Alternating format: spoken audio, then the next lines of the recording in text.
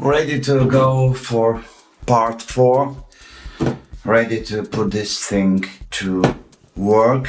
But before anything else, I have to fix these big capacitors.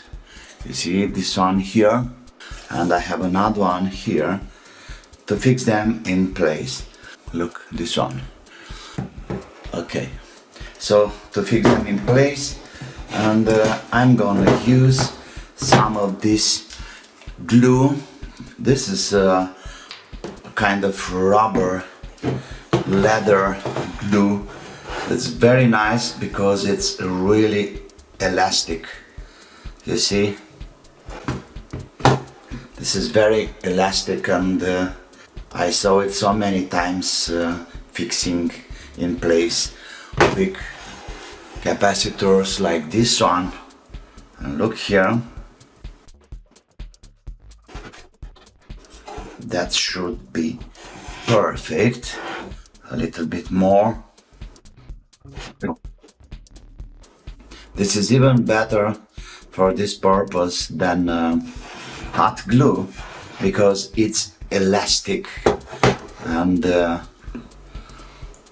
it's uh, dumping the vibrations and all the other stuffs anyway this machine will be hanging on the wall. So there will be no mechanical stress. But anyway it's good to have that fixed. So let's have a test about uh, how much energy it's taking in uh, standby mode to have an idea about how much it consumes by itself. So I have my ammeter here, 170 milliamps with the fan on. The standby current is like 77 milliamps. That means 1.5 watts. Well, I can call it a pretty reasonable one. Let's see when the display is turning off and let's see if the display is turning off I mean the, the light behind the display okay finally. I, it feels like two minutes or something. It's not exactly turning off but dimming the light after two minutes. Nice. Hello again. The last part of the do-it-yourself uh, MPPT solar charge controller. I have my batteries down there, 12 volts batteries, and they are pretty discharged or depleted. As you can see, I have this on the wall already. I had the battery connected and now I'll I turn it on because I have a fuse over here. Cross fingers. There we go. So the MPPT is starting normally what we got to do now is to check from this menu up LCD okay. 12.1 output. Okay. Okay. D00 24 hours. This is good. Then we have D01 13.8 this is the floating charging value. D02 14.5 this is the maximum voltage for the battery. Maybe yeah. D03 that means 10 volts it will be disconnecting and finally here I have to press 0 0 that's for acid batteries. That's the default for uh, lead acid. And we are ready to go.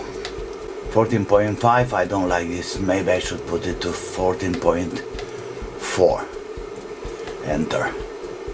Okay. So next. I'm gonna use my uh, solar panels for the uh, inverter here so I'm gonna have around 34 maybe 40 volts or something more I have more than uh, 900 watts but it doesn't really matter because it will be just a test to see if this MPPT charger it's really delivering 60 amps as they advertise to my batteries. Well, I just simply tied this disconnectors. Normally I should use a resistor to have the capacitors charged before but now let's do it like this. And there we go. Look over there. We have 51 amps. 49 it was 51 a few seconds ago let me put it higher. I can say that it's working. Nice. Let's check this with my ammeter. With my clamp meter. It was a 51 amps for a few seconds. This one shows me 12.6 from the panels. 12.6 amps from the panel. And we should have 34.2 this is perfect. This is so perfect. There is no heating the fan. It's not even working well people I can say this is a great success. Yeah it's working. I have like almost 50 volts input 500 watts and I don't see any problem 50 volts input this is the temperature 30 degrees okay so by the book the fan will start working when the temperature it's uh, reaching more than 45 degrees Celsius the protection starts working when uh, we reach 75 degrees. What else? What I can say? The machine is working great. There is no problem with handling 35 amps and we have the battery voltage there 14.5 let's check that out. So this is my battery terminals here 14.22 in the system. That's pretty okay. The ammeter there it's working absolutely nice. Let's check it again. So the machine is saying 34 amps. Now it's going down because the sun is hiding in the clouds a little bit. 22.2 22.6 look there. Absolutely perfect. Well guys that's it. I hope it's useful. Now the display light it's turning almost off. So I don't know if it's turning off but uh, after a few minutes as you can see it's dimming it's dimming the the backlight all I can say for now it's working great once again we have like 32.2 volts input and 280 because the sun is hiding in the clouds. So everything is fine. That's the end of the project. The machine is on and working as it should. There is no problem with heating. So far 33.6 degrees, that's nothing. We are charging constantly with 18, 19, 20 amps. Let me disconnect this a while. Okay, the sunshine is back. Let's see now if we have a peak of something. Yeah, 44, 40 amps. We had a peak. But it's looking like the batteries are in a pretty good shape, so they didn't ask too much current. I saw in the beginning a 51 amps peak.